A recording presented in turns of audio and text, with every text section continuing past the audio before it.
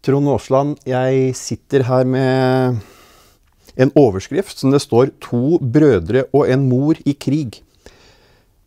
Det er én person der som jeg kjenner veldig godt navnet til, og så er det en bror som jeg må si jeg kjenner til eh, navnet på, men ikke så mye historien til, nemlig Ottar Haugland. Eh, lillebror eh, Knut han har de fleste hørt om. Mm. Eh, vi skal prate om disse to brødrene her, men det, det, det, for de gjorde seg vel av de brødrene på Hvor mange var dem? De var fire brødre. Ja, Så er det vel de her som står igjen i historia som, eh, som de mest kjente av dem. Som utmerker seg med ikke bare krigsinnsats, men, men uh, også ganske mye som de gjør etter krigen. Og så kan jeg si at når vi legger disse rammene for programmet, så er det en tanke om at ja, altså andre verdenskrig, og for oss i Industriarbeidermuseet, tungtvannsaksjon, sabotører Det er veldig mye stoff og mange mennesker å øse av her. Mm. Men, men, la oss nå prøve å gjøre no, noen valg. Og et sånt valg kan være å også forsøke å ha et familieperspektiv på, på krigsårene. Og innenfor den rammen så er det ganske mye vi kan snakke om som gjelder Knut Haugland og hans storebror Ottar Haugland. Mm. Så det er det vi skal gå inn i, og, og vi skal møte dem både i krig og fred. Mm. Vi skal begynne med Ottar Haugland.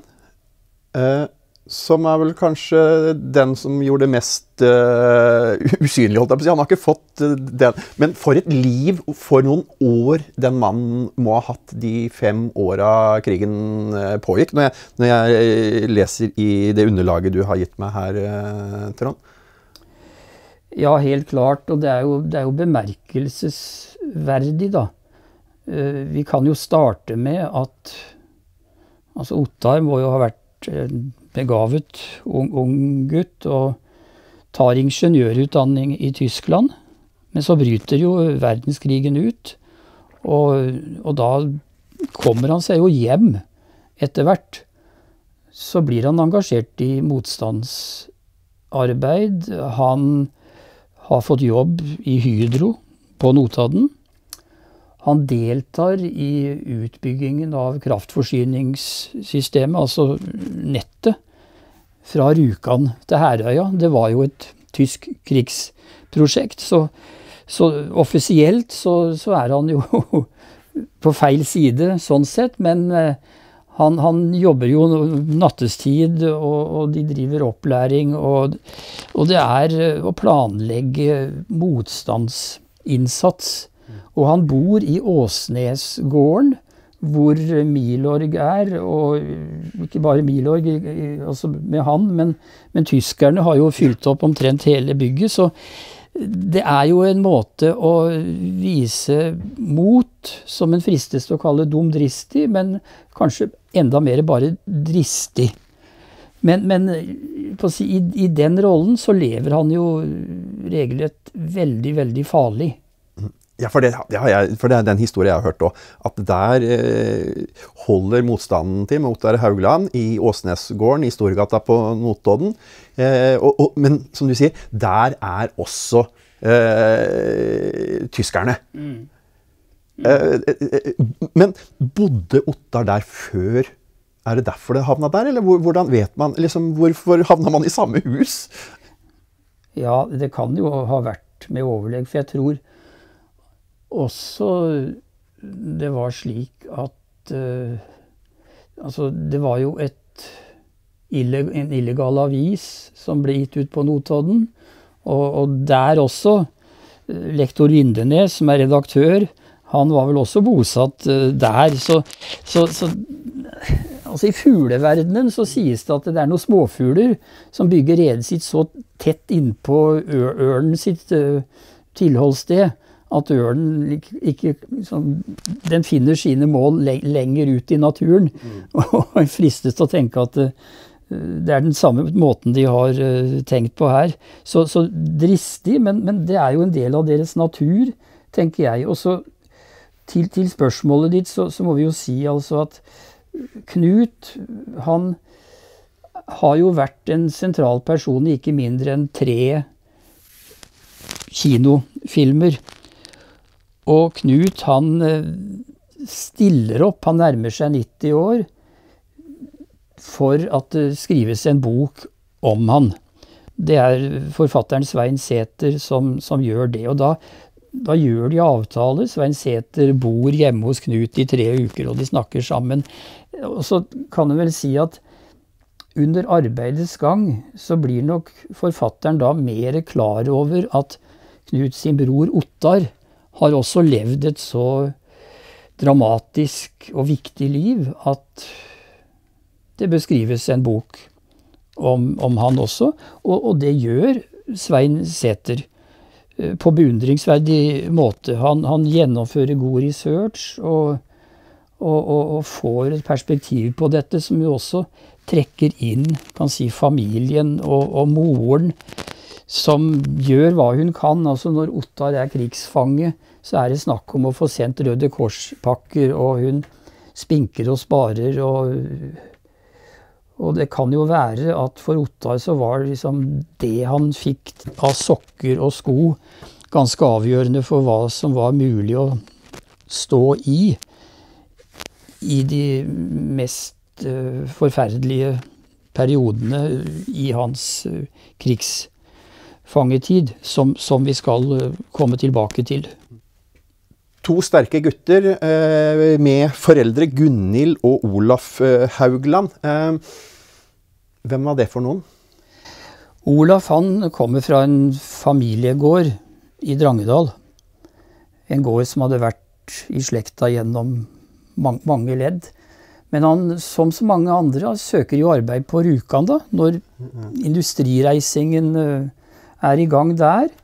Og, og, vi vet at etter hvert så fikk han jo jobb på Krossobanen. Kona Gunhild er av Hadeland-slekta i, i, Rauland, og jeg regner med at de møtes på Rjukan. Altså, dette er en smeltedigel hvor man ser utsikter til et bedre liv enn eh, det man kanskje ville fått veldig mange andre steder. Så de bor ganske sentralt på Rjukan etter hvert, og der oppdrar de fire sønner. Veldig aktive speidere, friluftsfolk. Og det var jo noen, noen av de egenskapene som var viktige for både Knut og Ottar, og å si hva de kunne få til. De var kjent med høyfjellet, Hardangervidda, de var vant til å gå langt og holde ut. Så, så, det er egenskaper som vi må trekke fram som litt kjennetegnende for sønnene. Uh, moren uh, får jo et veld, veldig engasjement da rundt det som skjer i krigen, og, og selvfølgelig stor, stor, bekymring. Og det blir jo ikke mindre bekymring når Olaf uh, omkommer etter endt arbeidsdag på sykkel eh, ned ifra Grepseborg. Og ja, altså rent og skjært eh, uhell, men hun sitter jo igjen som, som enke og skal prøve å få endene til, til, å møtes. Slett ikke lett, lett, men vi ser veldig omsorg for, for sønnene, og, og, av dem så er det jo Ottar som ja, han ender jo opp i en uh, Nacht und Nebel, altså Stutthof var en sånn konsentrasjonsleir hvor det ikke var meningen at man skulle overleve. Og Ottars vei dit, den uh, har jo bestått i at han ble arrestert en natt andre halvdel av november 43. Samme natt så forsøkte man jo å arrestere Knut, som var på Rjukan, unnskyld, som var på Kongsberg, men han Seks mann var ikke nok til å arrestere Knut. Så han hoppa ned trappa og forsvant i mørket, og, og virkelig forsvant. Til alles overraskelse. Men Ottar blir jo arrestert og, og, får et jeg tror det var ni måneder langt opphold på Møllergata 19. Mm. Og så med, med fangeskip til Polen, og til denne leiren Stutthof, som antagelig var den første virkelige konsentrasjonsleir. Det var politiske fanger der fra slutten av, av 30-tallet. Der får jo Ottar arbeid, og, det handla om å bære tunge tømmerstokker. Og, med den eh, ernæringen så, så, skjønner han jo at dette her, det kan jo slett ikke gå bra. Men eh, fordi han er elektroingeniør, så blir han satt til å, å reparere elektriske gjerder. Og han er tillitsmann på den norske brakka. Og, altså, det går på, på, et vis, men han har jo flaks og tilfeldigheter. En gang så fikk han eh, tilgang på en genser. Det ble oppdaget. Og da var jo veien til galgen kort. Så, så, han sto for tur til å bli hengt, men så skjedde det noe, så glemte de Ottar. Men jeg tenker på, du var innom det med, med at den var tillitsvalgt. Uh, var det vanlig? Liksom? Og, så, og, så, tenker jeg også at det, uh, da, da, risikerer du å ta på deg skylda for andre òg, når du er tillitsvalgt og det er noen andre som roter, roter til. Ja, men Tenk nå på det. altså Ottar hadde utdanning i Tyskland, snakka godt tysk. Så det, det, å ha en som kunne snakke deres sak Sånn i utgangspunktet så, så var det praktisk, og, og, ble vel på et vis respektert. Og, og fra fangene sin side så var det jo veldig ønskelig at det var noen som hadde, hadde den rollen. Så han, han påtar seg jo den men, men, at dette var lett? Nei, kjære vene. Det var det jo på ingen måte. Men hvis vi nå er i Ottar sin, sitt på å si, fangeliv, så, så, vet vi jo at når vi kommer inn i året 1945, så skjer det jo veldig store forandringer. Og amerikanerne er på vei fra, fra vest østover retning Berlin. Russerne er på vei vestover og, og, og gjennom eh, Polen. Og, og, de som driver konsentrasjonsleirene, ønsker jo å slette så mange spor de bare kan, og, og for så vidt forlate leiren. Og for Ottar sin del så handlet det om å legge ut på, på en Altså det var vel 110 000 fanger vi snakker om, men han er i en pulje på 1300 fanger. Og det er vinter, det er kaldt, det er stormbyger. Og de går uten mat, uten vått og tørt i fire døgn. Og da er det rundt 350 eh, igjen. igjen 1000 stykker omtrent som ja, ja, eh, ja. ja, De kommer til en kirke, og, og der blir det sunget en uh, polsk salme. Ottar kunne noen år seinere ut fra melodien bidra til at man klarte å finne ut hvilken sang det var, og, og selv fangevokterne, de som tar av seg uh, hjelmen og Er det det her som blir kalt for dødsmarsj? Dette var en dødsmarsj, ja. Det, det var ikke noe, noe, annet formål med det. Fordi man hadde ikke noe sted å gjøre av dem, og da da lå den bare strødd langs veikanter ja, og ute i skogholt? Ja, og... vi kan trygt si, si det på, på, den måten. Og, og vi vet at det, altså de møter jo på russiske soldater og tropper. Vi er kommet ut i mars, og, og de sier nei, dere får bare klare dere selv. Og, og for Ottar sin del så Det gikk vel fire måneder før han var tilbake i Norge. Altså lenge etter at krigen var slutt. Og han hadde et ønske om å finne veien til Svartehavet. I håp om at det kanskje var eh, et norsk skip der. Så gir de opp den, den ideen. Den ruta de Altså, de går De, de reiste med tog. Svein Sæther, som har skrevet om, om Ottar Haugland, han har rekognosert og, og funnet ut altså, dette var strabasiøst så, så, det holder. Og, og, vi vet jo også at da Ottar omsider kommer seg hjem via Sverige, så det sies at det har stått en dødsannonse. Altså Han var på et vis avskrevet, og, og, og broren Knut måtte jo gå god for at 'dette er min bror'. Når han kom tilbake? Ja, ja. Han var ikke til å kjenne igjen omtrent? Ja, hva vet jeg. Hva vet jeg. Men liksom, det vet jo at det er mange han var, som han var, var, jo, han var jo en sav, savnet mann, men at, at han skulle komme tilbake, det Ja. Men hvorfor ble han arrestert? Hva var det som gjorde at han ble tatt, da? Det var jo fordi at noen tystet og sier at den og den og den er eh, sentrale personer i Milorg D16 på, på Notodden. Og så en natt så Raida dem, da, raida dem da der han holdt til i, i Åsnesmålet? Ja, jeg tar for gitt at det var, var det. Og, og, og altså, Ottar hadde jo hemmelige rom, og det var våpen og sånn, men dette klarte de jo ikke å finne. Så, men altså, det at han var leder for distrikt 16, det var jo mer enn god nok grunn til å bli sendt til, til Møllergata 19 og videre til konsentrasjonsleir. Mm. Jeg har hørt, var- var det den av, jeg har hørt en mm, historie om avlytting av eh, eh, Admeni på Notodden. Som også tyskerne da hadde tatt, eh, inntatt.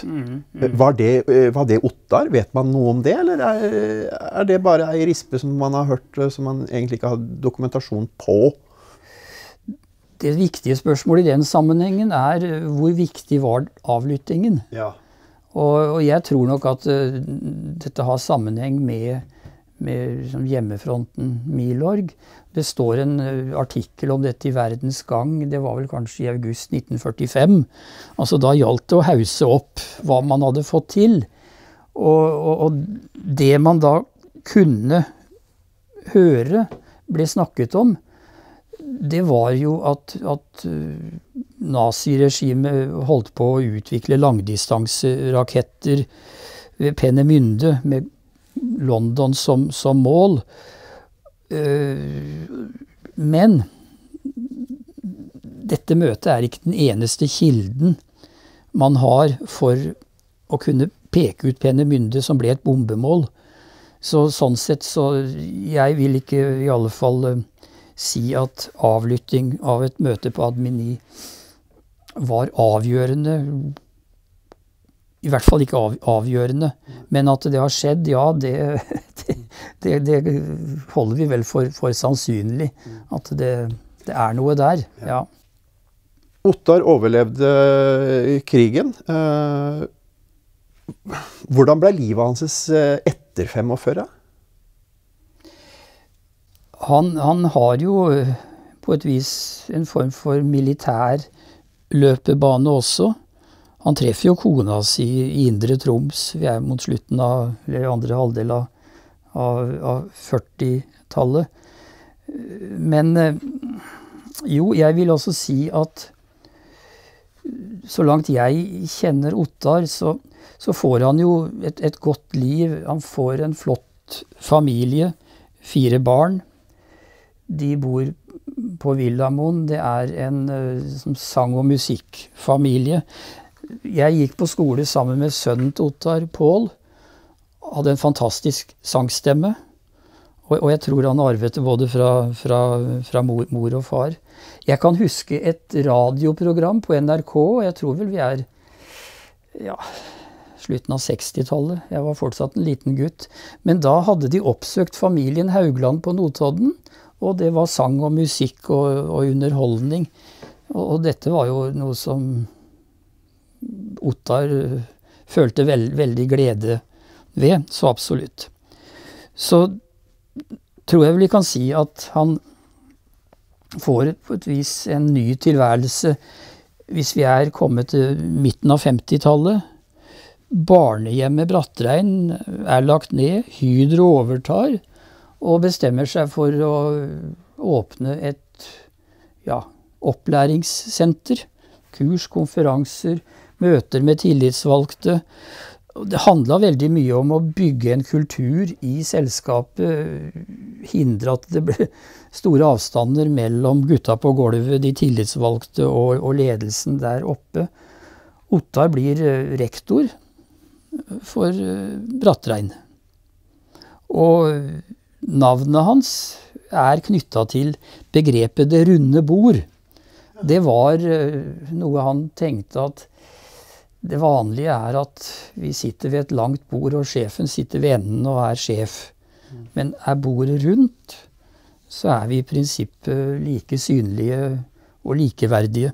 Så, så den type rundbordssamtaler, det var på initiativ Og møbelutformingen var Ottars idé. Så det er jo av de tingene som en forbinder med, med Brattrein og, og Ottar i, i veldig sterk grad. Ellers så var han jo en veldig synlig person i, i Notodden-samfunnet. Altså i kirkelige sammenhenger og, og en ut, utadvendt person.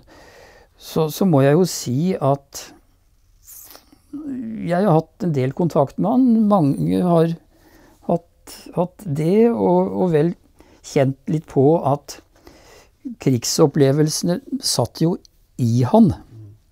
Jeg kan fortelle at for noen år tilbake var jeg i Drangedal og, og hadde et program om Ja, det var liksom sabotører og menn med en del vekt på Ottar og, og Knut. Og, og, etterpå så kom det vel Ja, det var et tosifra antall personer som het Haugland. Ja. og, og en dame hun kunne jo fortelle at etter krigen Ottar var på besøk flere ganger. Han sa at han helst ville sove ute i løa, ikke inne.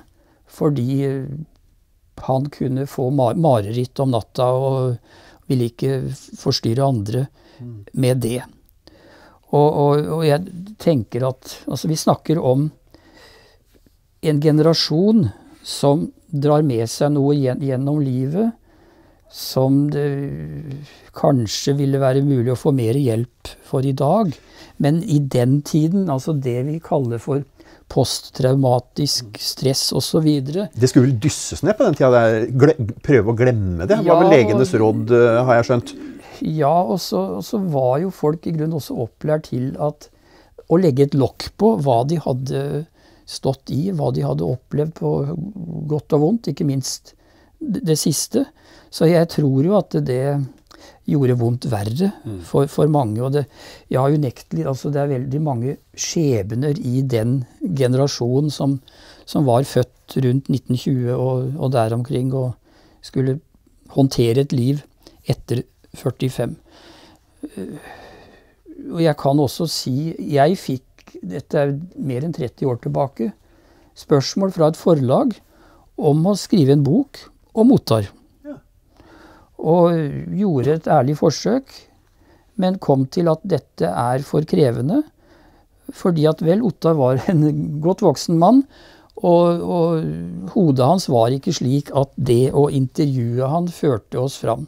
Så, så igjen det at Svein Sæther har skrevet en bok om Ottar eh, jeg, Har jeg hatt på hodet, så vil jeg ta den av, altså, for uh, han har gjort et veldig, veldig godt stykke arbeid og ført det i mål. Men merker, hva, hva, hva, var, øh, hva var Ottar opptatt av? Sånn, uh... Jeg tror en kan si at han var, han var opptatt av veldig mye som hadde skjedd seinere, med et positivt fortegn. Ottar han hadde f.eks. alarm i huset sitt oppe på skogen på Notodden. Og det, det forklarte han meg en gang, at det var én grunn til at han hadde det. Og så tok han meg inn på et rom, og der henger det i glass og ramme eh, en tekst. Og det er signert Thor Heyerdahl. Dette er skrevet, forklarer Ottar, med blekk fra en blekksprut. Og det var en takk til Ottar fra Thor Heyerdahl personlig for hans medvirkning til at verden, og familien først og fremst, da, fikk vite at uh, Kon-Tiki-ekspedisjonen, den flyter på Stillehavet. De synker ikke. Knut er i den andre enden, er en av telegrafistene øh, om bord. Og Ottar han, han, sitter altså i det lille, lille kontorbygget Der. til Tinnfoss, i kjelleren. Ikke 1001 natt, men ikke langt unna 101 natt. Og, og, og mottar meldinger om dette. Dette syns jo Ottar var uh, ja, godt å ta med i livet. At han hadde kunnet gjøre nytte på, på, på det viset. Så det er jo sånne Så ting han som jobba man liksom med å se på det positive, de, de, finne de gode tinga med livet? Ja, jeg må si ja til det, altså. Absolutt. Absolutt. Ja. Men jeg, eh, du snakka om det på, på, eh, på, ute på Brattrein, og det runde bordet. For jeg tenker at mange, eller en del, eh, kjente fra andre verdenskrig har jo liksom brukt den statusen de fikk da, eh, etterpå, eh, så godt eh, Det ser jeg ikke for meg at Ottar var den som gikk rundt med medaljer på seg på jobb. Nei, men han engasjerte seg i Hjemmefrontmuseet. Og, og cella han hadde på Møllergata 19, er en del av utstillingen i Skolandparken. Så, så han, han jeg, jeg tror ikke vi skal si det er personlig, men det er noe med aldri glemme. Hva, hva man sto i, og, og hva si, landet vårt, folket, ble, ble utsatt for.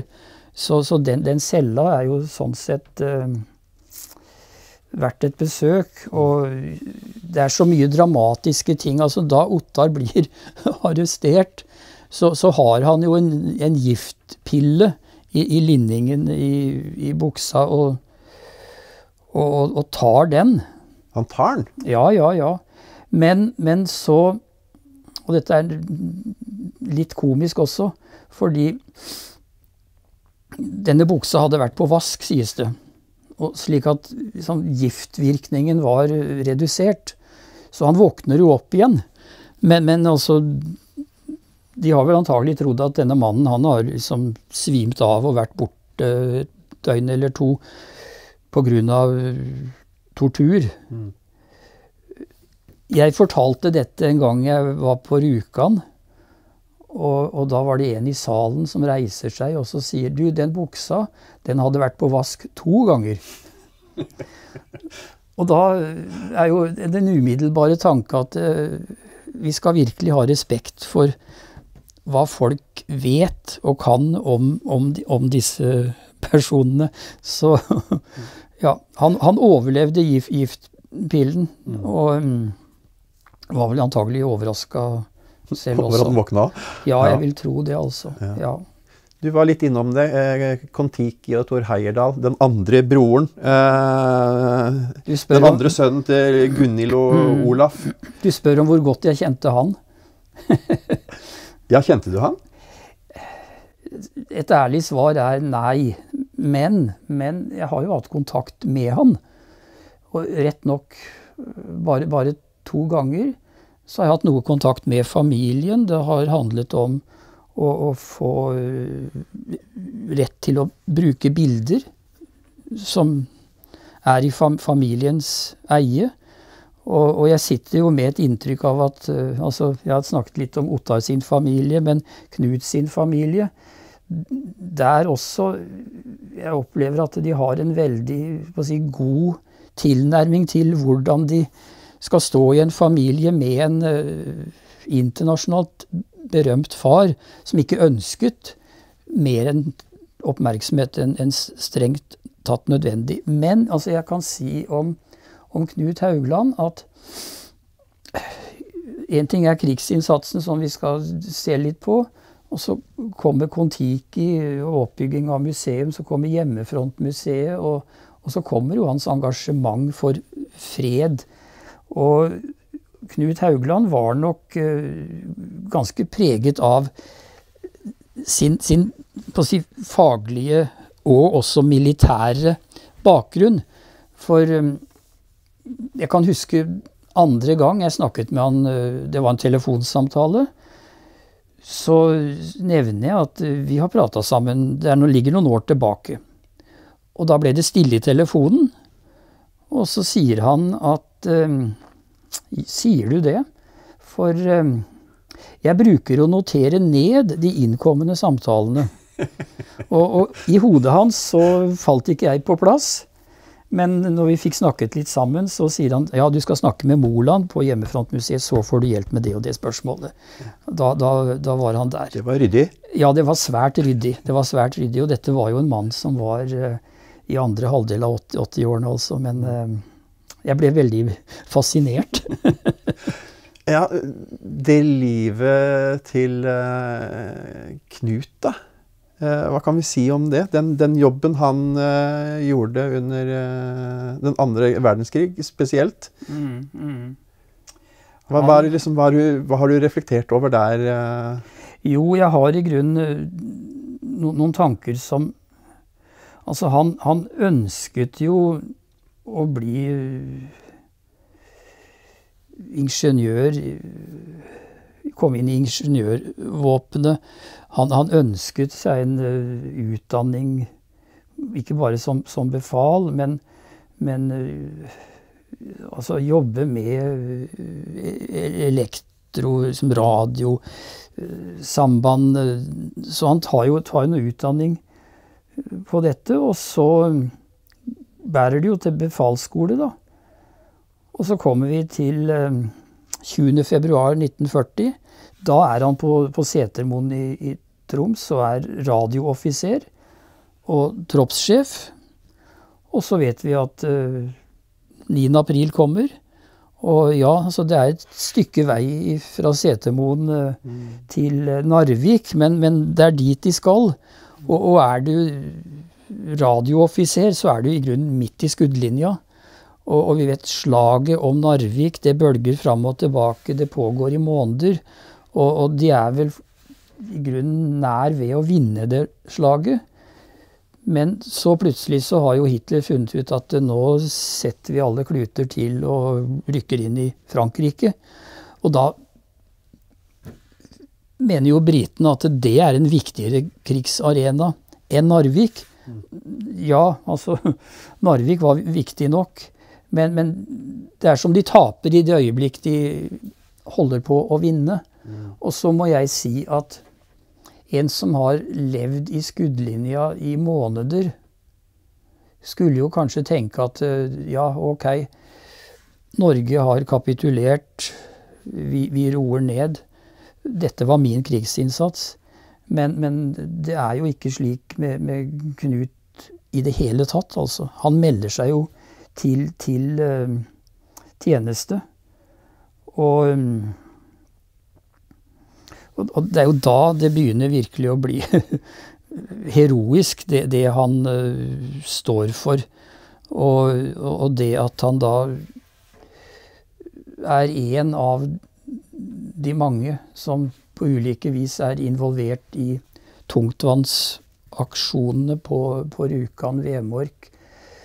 Vi kan godt si at han var så viktig at han er jo ikke med i gjennomføringen av øh, aksjonen mot kjelleren og øh, tungtvannskolonnene.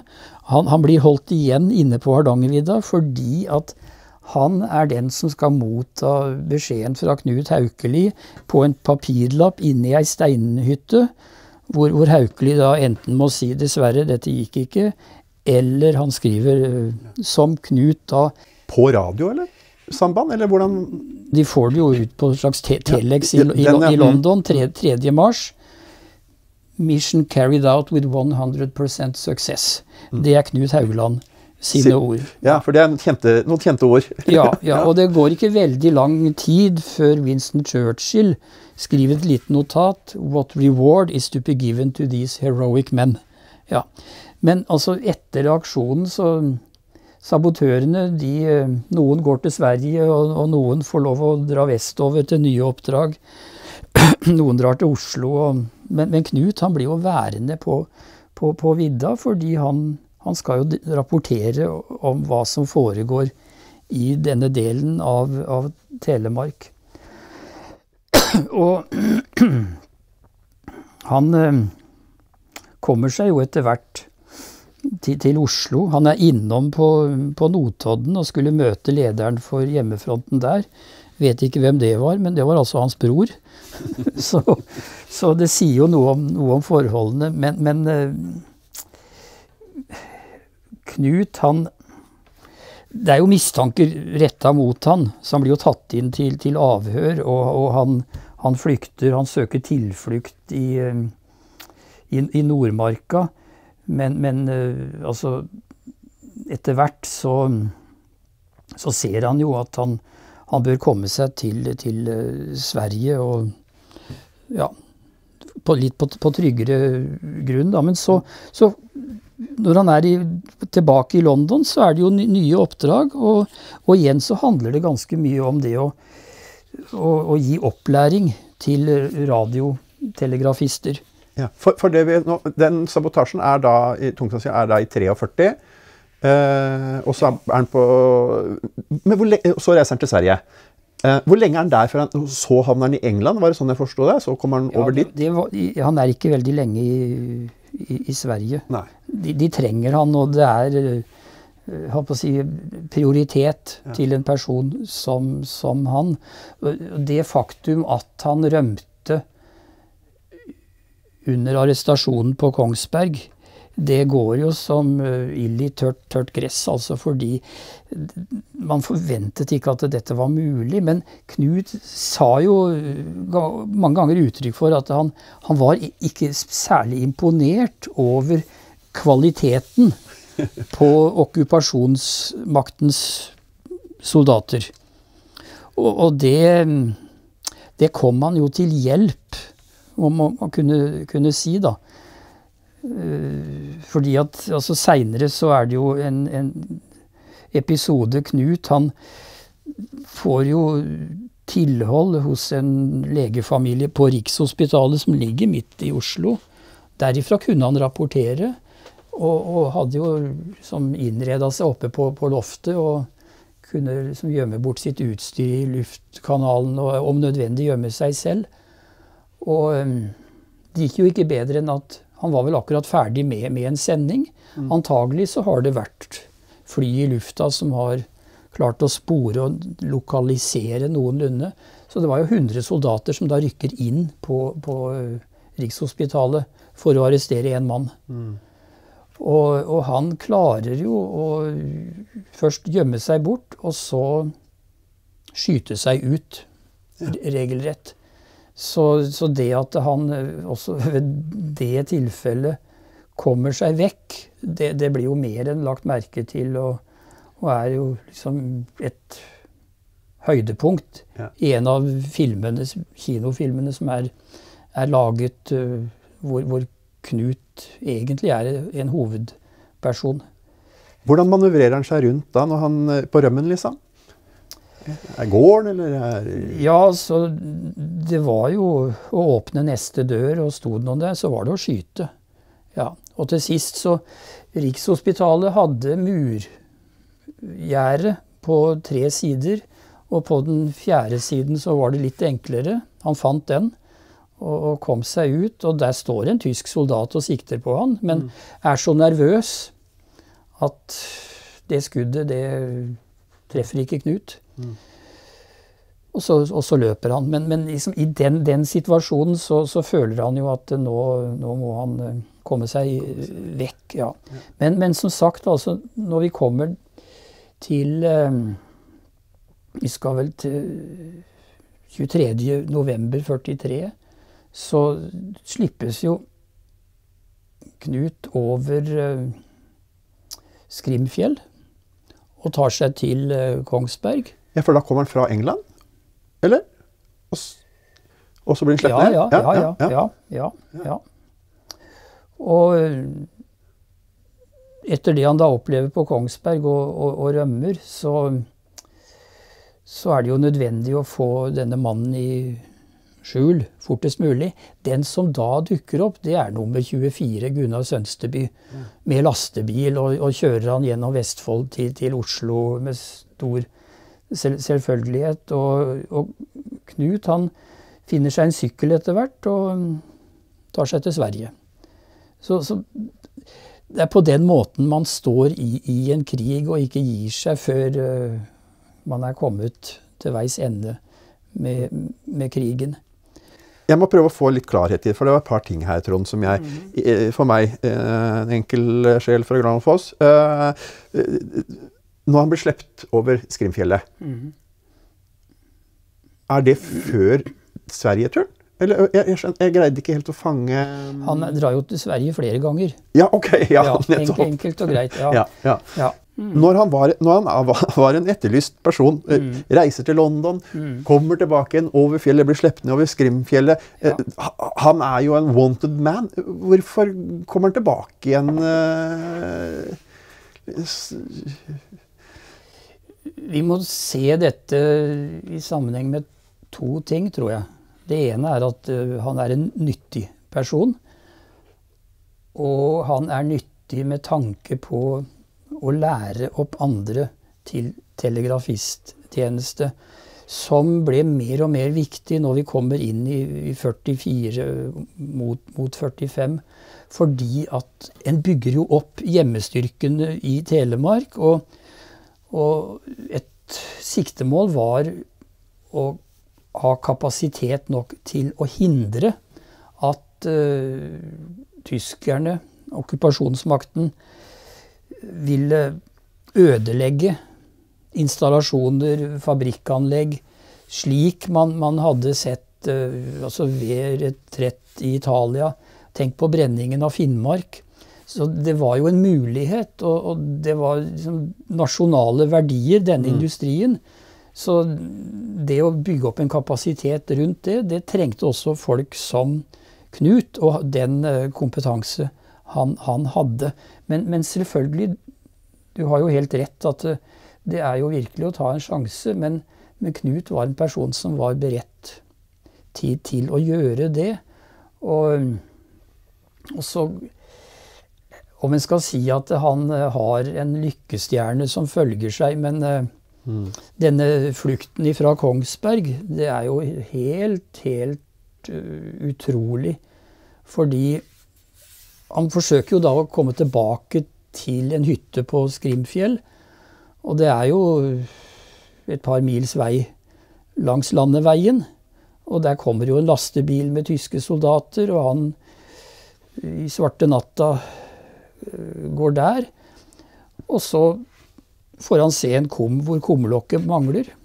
Så han Ned i den. ned i den, og bilen kjører forbi. Og han er innom på gårder, og, og de skjønner jo Han var jo blitt eh, på et vis bank, banka opp før han rømte.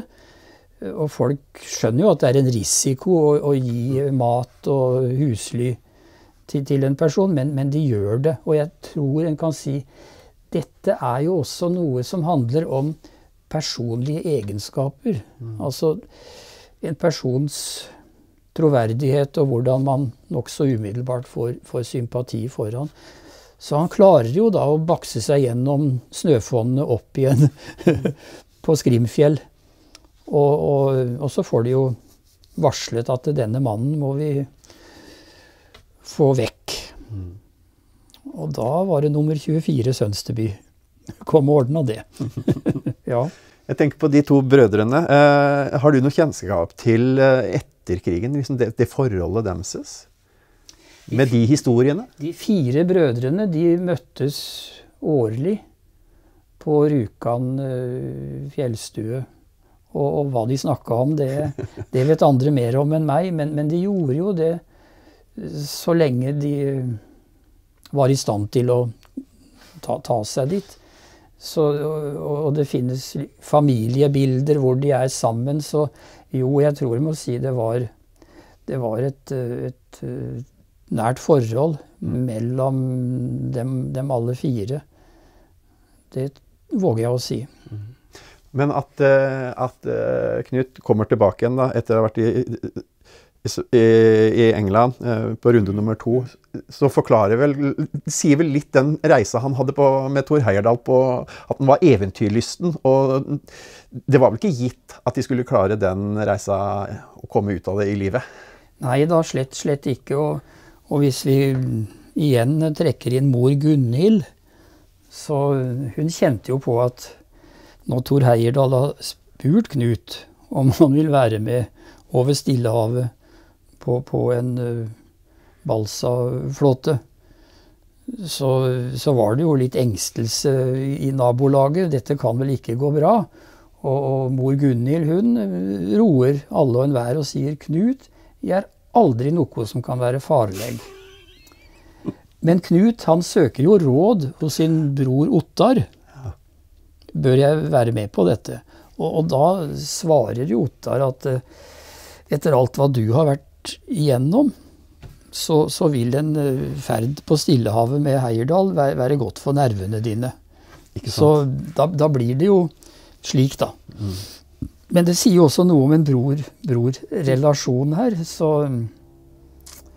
Eh, Ottar ble liksom involvert i dette relativt tidlig. Og vi kan godt si at altså det var ikke bare Knut som eh, kjente på eh, en krig. Det var jo en hel nasjon som var krigstrøtt, inkludert Thor Heyerdahl, som ønsket å gjøre noe helt annerledes, og, og kanskje noe som en verden ville legge merke til som en god hendelse. Men med stor sannsynlighet for at det, skulle gå helt galt. Mm. Så, så, det var jo sånn sett stor interesse og oppmerksomhet rundt dette. Og en vanlig oppfatning var at det, en flåte av det slaget, når saltvannet begynte å gjøre sin virkning, så synker den etter en ti-tolv dager. Mm. Tor Heyerdahl mente nei, nei, det, det gjør den ikke. og tar, tar sjansen. Men, men, igjen så var det jo dette at de måtte jo Og det tror jeg kanskje vi kan også knytte til Knut. At familiene våre trenger å vite om vi flyter eller synker. Og derfor så, så må vi uh, ha radiosamband. Og i utgangspunktet så, så var Tor Heyerdahl sin tilnærming at vi legger et lokk på fordi Altså, han skulle jo lage film, og det ble film som for, for, Oscar. Han skulle skrive bok, men alt dette skulle komme i etterkant. Mm. Så, så lenge de var 100 dager på Stillehavet, så tenkte han at det er, det er best at verden for øvrig vet tilnærma ingenting, mm. til vi igjen dukker opp. Men, men, der måtte han gi seg. Og, og selvfølgelig, for familiene så gjorde det en veld, veldig forskjell. Mm. Og ikke minst dette her at eh, ja, det går 20 dager, 30 dager, 40 dager, og de flyter. Mm. Ja. Trond, eh, du var inne på det. Eh, ordtaket 'vi må ikke glemme', som både Ottar og Knut var opptatt av. Eh, nå har jo du hjelpa oss litt på det. Vi må ikke glemme. Takk for, takk for hjelpa. det, det må ikke glemmes. Nei, jeg mener vel at vi skal være forsiktige med å opphøye folk til, til forbilder. Men, men, de vi har snakka om nå jeg, jeg, tenker at livet de hadde i, i krigsåra, var, var, kanskje mer, mer enn en nok til å rive i stykker et menneske. Men, men, disse de gjør jo altså en flott innsats i fredstid, og, og jeg våger vel å mene at de, de hadde gode, gode liv på tross av det de bar med seg. Som, som, var uh, selvfølgelig veldige på, påkjenninger. Som en aldri klarer å få ut, ut av uh, kropp og, og sinn. Men, men, de sto i det. og Sånn sett så, så syns jeg at de er for, forbilder for kommende generasjoner. Og så ligger det hos, hos, dem som hos flere av de som var involvert i tungtvannsaksjonene, ikke å forglemme Joakim Rønneberg. Vi må ikke glemme. Og, og fred er noe vi eh, må streve for, og ikke ta for gitt. Mm. Takk skal du ha, Trond. Da, da håper jeg at jeg ser deg snart igjen i podkaststudioet her med nye historier. Jeg gleder meg, jeg gleder meg allerede. Jeg tar for gitt at du kommer. det finnes mer. Bra.